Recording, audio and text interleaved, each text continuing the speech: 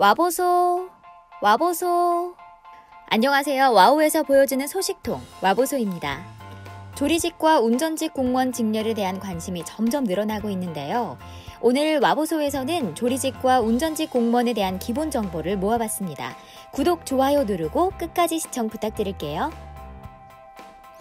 자, 그러면 본격적으로 조리직 공무원에 대해 먼저 알아보겠습니다.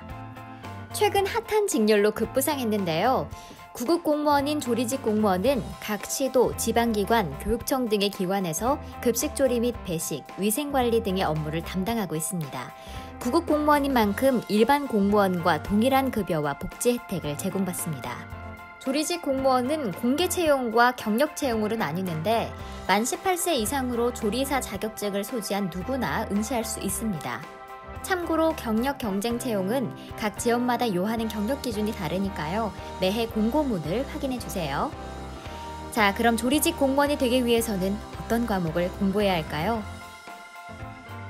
2020년 현재까지 시행된 시험 과목은 공개 경쟁의 경우 국어, 한국사, 위생관계 법규, 경력 경쟁의 경우 사회, 위생관계 법규 두 과목으로 시험이 진행됩니다. 마지막으로 2019년, 2020년 조리직 공무원 선발 인원과 경쟁률을 살펴보겠습니다. 먼저 경남교육청입니다.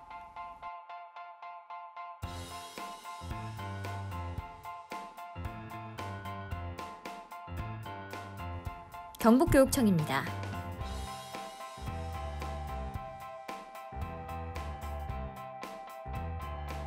전남교육청입니다.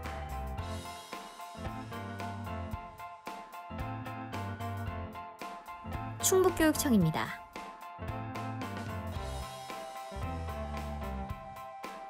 다음으로 알아볼 직렬은 운전직 공무원입니다.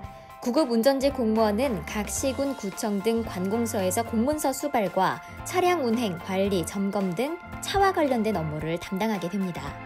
운전직 공무원은 만 18세 이상 일종 대형 운전면허를 소지한 누구나 응시할 수 있으나 지역별로 경력 제한이 있을 수 있으니까요. 공고문 확인은 필수입니다. 2020년 현재 시행된 시험 과목은 공개 경쟁과 경력 경쟁으로 나누는데요. 공개 경쟁의 경우 국어, 한국사, 자동차 구조 원리 및 도로교통법규 세 과목, 경력 경쟁의 경우 사회, 자동차 구조 원리 및 도로교통 법규 두 과목으로 시험이 진행됩니다. 두 과목만 준비하는 경력 경쟁 채용이 비교적 부담이 덜하다고 생각할 수 있지만 경력 제한 요건이 지자체마다 달라 요구 조건에 충족해야 최종 합격이 가능합니다. 마지막으로 운전직 공무원을 채용하는 교육청에서 공개한 선발 인원과 경쟁률에 대해 알아보겠습니다. 먼저 충북교육청입니다. 충남교육청입니다. 강원도 교육청입니다. 전북교육청입니다. 전남교육청입니다. 광주교육청입니다. 경남교육청입니다. 마지막으로 조리직과 운전직 공무원 공통적으로 거주지 제한 요건이 있어서 알려드리겠습니다. 접수 전 거주지 제한 요건을 꼭 확인해서 응시해야 합니다. 거주지 제한 요건은 두 가지가 있습니다. 첫 번째는 시험 응시해의 1월 1일 이전까지 응시 지역에 주민등록상 주소지를 두고 있었던 기간이 모두 합해 총 3년 이상인 사람. 두 번째는 시험 응시해의 1월 1일 이전부터 해당 연도 시험의 최종 시험일까지 계속해서 주민등록상 주소지가 응시 지역인 사람입니다.